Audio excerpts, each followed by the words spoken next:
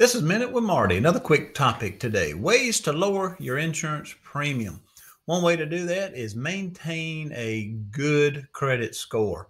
You say, Marty, what does that have to do with my insurance premium? Because an insurance carrier, like your bank, uh, is going to look at your payment history.